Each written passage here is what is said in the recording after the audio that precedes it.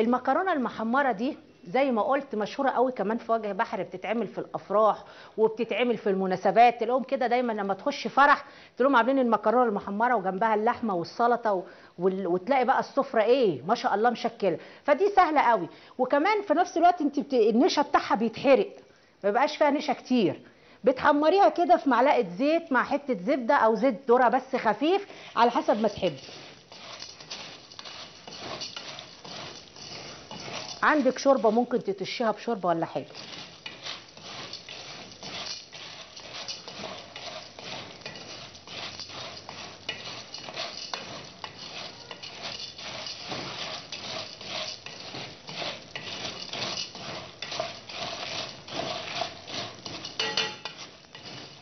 ولا شوية النعناع اللي يفرحوا القلب دول. إن شاء الله تسلم يا عم قادر ده أنت لما تيجي بكرة هتلاقي الناس كلها مستنياك بالخضرة الحلوة بتاعتك دي. جاب لي برضه شوية نعناع يفرحوا القلب هم علقتهم في الشباك. يا ست عزة. يا عزة. ألو. ألو. إزيك يا زوزة؟ الحمد لله أنت عاملة إيه؟ يا ماما غالية. إن شاء الله تسلمي. أنا النهارده عاملة لك بقى جيلي عشان لما تعمليه تخلي ماما تعمله لك تقولي البيجي بيجي ترتور حمادة بيروح ويجي. ماشي. عاملة إيه؟ عاملة لك يا أختي كل حاجة حلوة. انت أخبارك إيه؟ تمام؟ الحمد لله. يلا النهارده اقعدي قدام التلفزيون لآخر الحلقة عشان هحكي لك حدوتة حلوة وهن... وهنغني مع بعض حاجات حلوة. ماشي. اوعي تقومي. لا أنا قاعدة معاكي.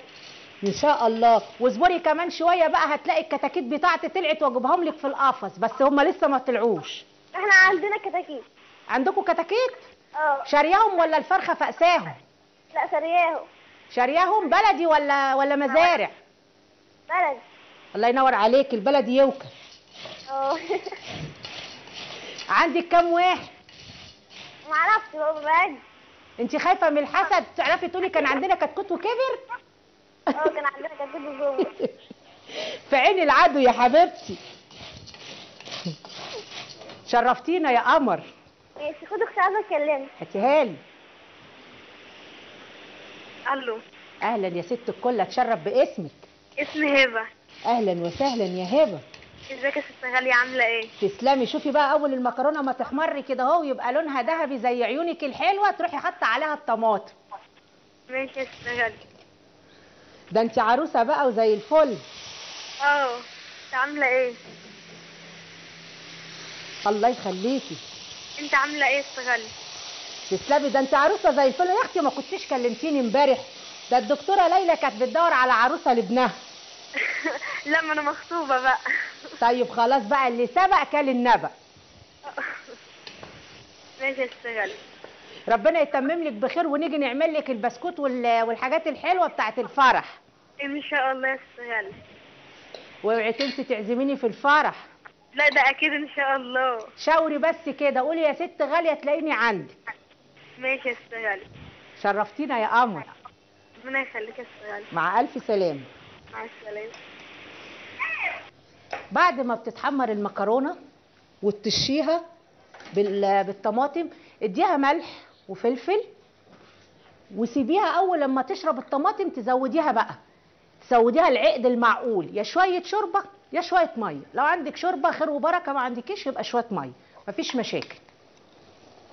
بس لو هتحطي شوربة راعي إن الشوربة بيبقى فيها ملح. لو هتحطي مية زي حالاتي مفيش مشاكل. حققيها بالملح والفلفل.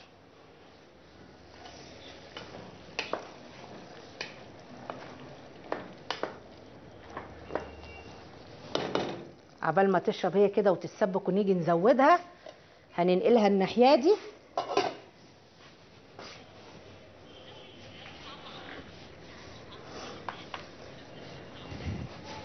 هنقلها كده عشان نقلي بقى الكبدة. الكبدة بعد ما تعمليها بالردة سيبيها شوية عشان خاطر تشرب الردة والردة تبقى لابدة فيها.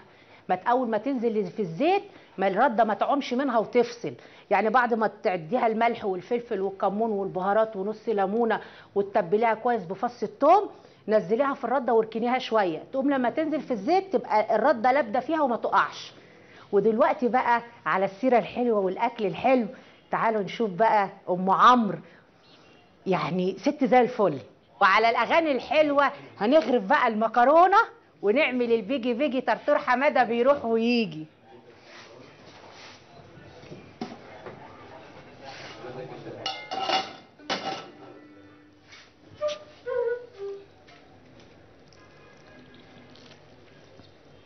على قدي بقى كده هكلمك بقى أقول لك كلمتين يا عم محمد دلوقتي على قد يعني على قد غالية. ده انت كلامك كله عسل. كل كلامك حلو كله حكم والله يا حاج غالي. عارف المثل اللي يقول لك دنيا سد عدوك يتهد؟